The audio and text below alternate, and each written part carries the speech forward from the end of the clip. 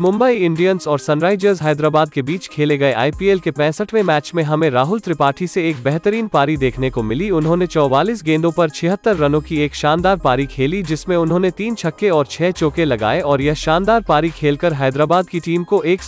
run के एक बड़े लक्ष्य तक पहुँचाने में अहम भूमिका निभाई और राहुल त्रिपाठी को यह शानदार पारी खेलने के बाद प्लेयर ऑफ द मैच का खिताब भी मिला दोस्तों आपको राहुल त्रिपाठी की यह शानदार पारी कैसी लगी हमें कमेंट बॉक्स में जरूर बताएं और इसी तरीके की और और आईपीएल से रिलेटेड वीडियोस देखने के लिए हमारे चैनल को जरूर सब्सक्राइब करें